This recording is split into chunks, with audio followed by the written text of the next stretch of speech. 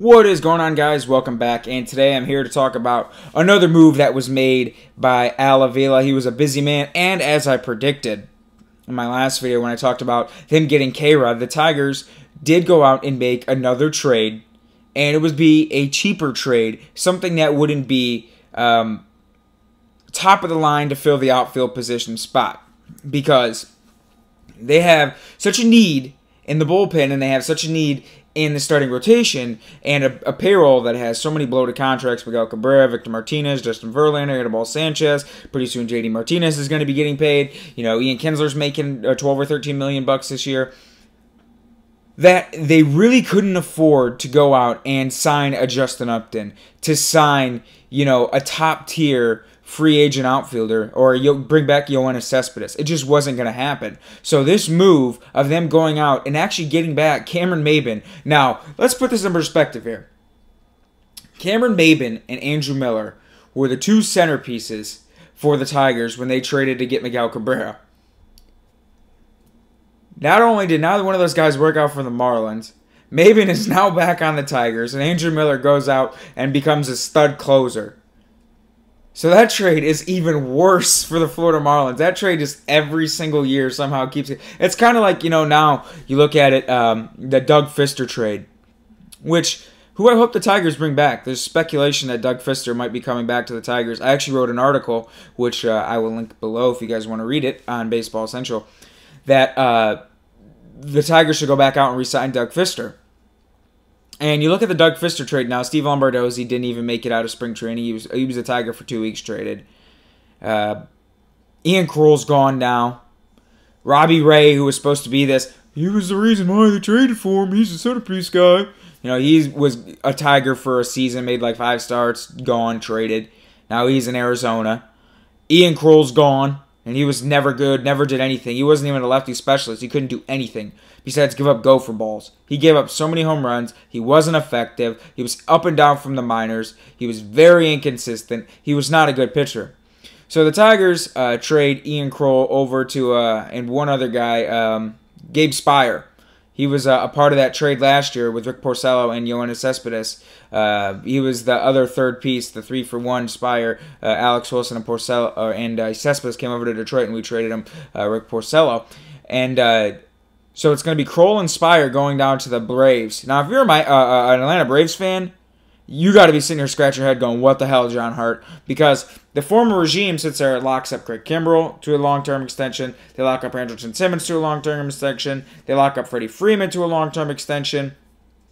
You know, but all of a sudden now, these Braves teams are like, wow, they got a nice, solid young core in place. They're going to be able to win for some years to come now with these guys you know, with up with Justin Upton out there and left, you know, because they, they had him for a couple uh, years left over, and Andrelton and Short, and you know, you had Evan Gattis and Freddie Freeman and Craig Kimbrel and you know Julio Teheran, uh, you know, just all these players, Alex Wood, you know, and it's just been blown up. Evan Gattis is gone. Simmons is gone. Kimbrel is gone. Upton's gone. Both Uptons are gone, actually. Both Uptons are gone. There's rumors that they're potentially shopping Freddie Freeman. No more Brian McCann. I mean, they have no one. Absolutely no remnants left. I mean, like last year when they signed Nick Markakis, you know, that, that move made no sense whatsoever. You know, they trade Jason Heyward, this hometown kid that was supposed to be, you know, a Brave for life. You know, he's gone now. And I mean, all these, these guys that made the Braves so good uh, you know, when they were competing for playoffs for a little bit there in, in, the early 2010s,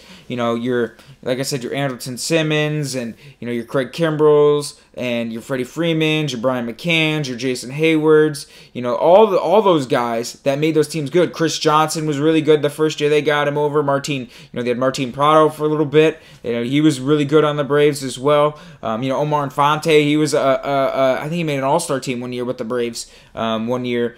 So I mean, he was he was a part of it. Um, I remember when they got Dan Uggla, and uh, he was terrible. He hit like 120 in the first half, and then went on like a 40 game hitting streak, some BS like that. It was crazy, and ended up bringing up his average like 220 because he was so bad. But neither here nor there. If you're a Braves fan, man, it's they re-signed AJ Pierzynski, so I guess you got that to look forward to, and you got Nick Markakis hopefully healthy for a full season for you. So, uh, which he might get traded. Who knows what John Hart's doing down there? You know, trying to sit there, and they might even be trading Shelby Miller now. So who knows what they're going to do? So looking at this from the Tigers side of it, The Tigers get a cheap outfield replacement bat. Cameron Maybin is a guy that kind of reestablished his value last year. Uh, he would, spent the last four years on the Padres before being traded over to the to the Braves uh, in the Craig Kimbrel trade. And Kimbrel uh, and uh, Maybin last year actually had a, a, decent season for a guy that uh, you know is what he is—a backup outfielder. Um, he had actually had a couple really really hot months early on in the year. In May, he hit 290, uh, hit two home runs, 17 RBIs. He slugged 409, and then got on base at a great clip, 371. He only struck he struck out 18 times, 11 walks, and then in June he hit uh, 314, which was his best month. Uh, uh, homer and 14 RBIs, stole six bases, uh, walked nine times to 15 strikeouts, got on base at a 366 clip. Now he's not a guy that it, ever really showed like the kind of power potential they thought he had. He was more of like a speed guy um, that was could put could really shag it out in center field.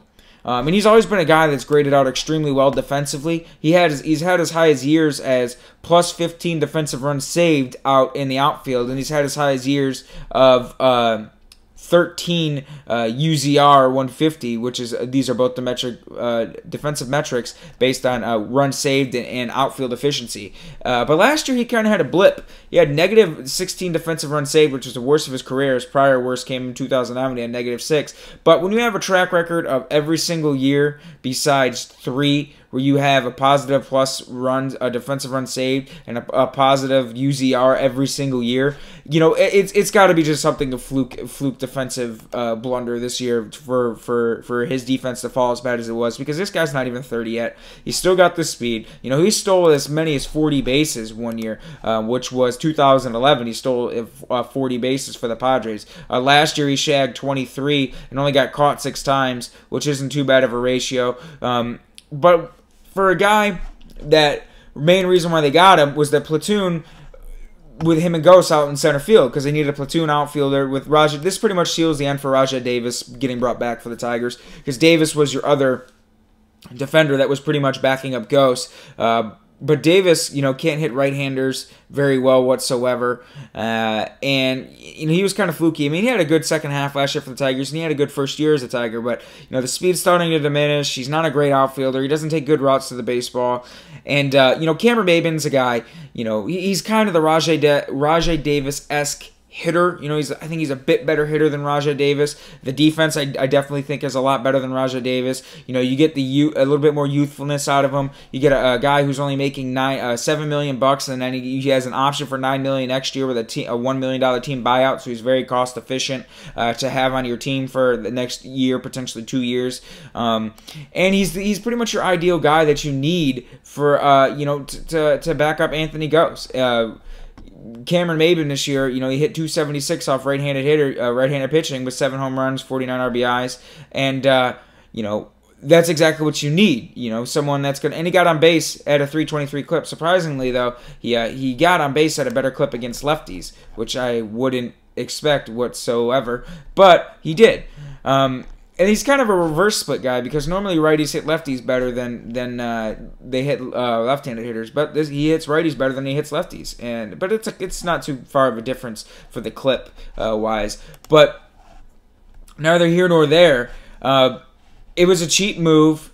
It was a pretty much seals the end of Rajai Davis out in center field. It was a cheap move. You know, um, someone that can get the job done. You can, you know, fill him in. You know, you can kind of mask his bat in the lineup. You know, you can limit the game he play, limit the games he plays. Um, kind of pick and choose what days he's going to start, and uh, you know he's going to go out there and he's going to play good defense for you. Uh, he's going to hit probably 260. You know, he's going to get on base at probably a 320 clip. He's probably going to steal you 20 to 25 bags. Um, and that's about it. Now you can delegate your funds to starting pitching and you can uh, go after more bullpen arms, you know, because you filled the hole you needed in the outfield. Um, you know, they might probably go after one more uh, outfielder um, because Maybin and Gose, uh, you know, they're good for center field, but you still need a corner outfield spot. And, uh, you know, I don't know how they view Steven Moya or Tyler Collins if they're going to go into spring training go, hey, these are the two guys that we're going to give the, the opportunity to, the at-bats to in Lakeland to see if um, these are going to be our, our, our corner outfielders of the future. But as of now, center field is taken care of, and it pretty much spells the end of Rajai Davis as a Detroit Tiger. And I like the move. Like I said, you didn't give up much. Ian Krol was very ineffective, anyways. It wasn't good. It just makes the Doug Fister trade look even worse than it actually was. Um, you get someone cheap, get someone cost effective, get someone that can play some defense, get someone that can hit righties at a decent clip uh, to, to platoon with Gose. And uh, you know, it don't cost you much, and you still got a good amount of money to mess with to go out and fix your bullpen and fix your starting rotation. So it was a good move by the Tigers, and uh, I got no complaints with it. I think it was a solid move, good move by Al Avila, and uh, Maybin's gone full circle. Now he's back with the team that's drafted him. So how weird is that? So that's all I got for you guys today. Um, any more Tigers moves happen, I will be back on here to discuss them and talk about them. And as always, check out BaseballEssential.com. I'm on there. Check out Baseball Essential's YouTube channel. I do transaction analysis on there as well as other videos. And uh, that's all I got for you guys today. And I will be back on here if any more moves happen. Have a good one.